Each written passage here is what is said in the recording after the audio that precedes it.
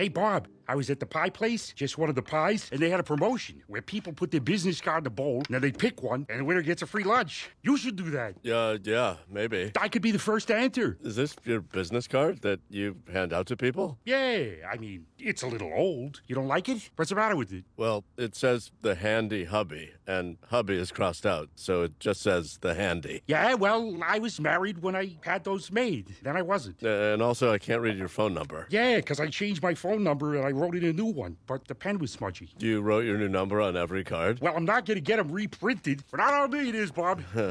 I mean, Teddy, I don't think you want a card that says the handy and then a phone number written in pen. It may be time to get new cards. It is? Uh, I think they're not expensive nowadays. You could probably do it online. Let's do it. You got your laptop? Oh, I didn't know I was going to be involved. I need you, Bob. I need your autistic eyes. Plus, you can help me not get hacked. Why would you get hacked? I don't know. Oh, wait. It's your laptop. You'd be getting hacked. So, are you going to go get it or what? Oh, my God.